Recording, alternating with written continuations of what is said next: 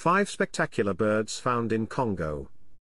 African grey parrot is known for its highly intelligent and sociable nature, it is a popular pet bird. It has a distinctive grey coloration with a red tail and black beak.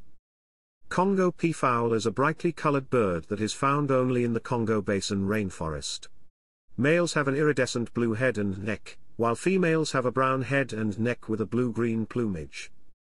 Shoebill, also known as the whalehead, is a large, stork-like bird with a distinctive shoe-shaped bill. It is found in marshy areas of Congo. African harrier hawk is found throughout Africa, including Congo. It has a distinctive double-jointed leg that can bend in any direction, allowing it to extract prey from tight spaces. Grey-necked rockfowl, also known as the Picathartes, has a unique appearance with a grey neck, black and white plumage, and a red beak. It is found in the rainforests of Africa, including Congo.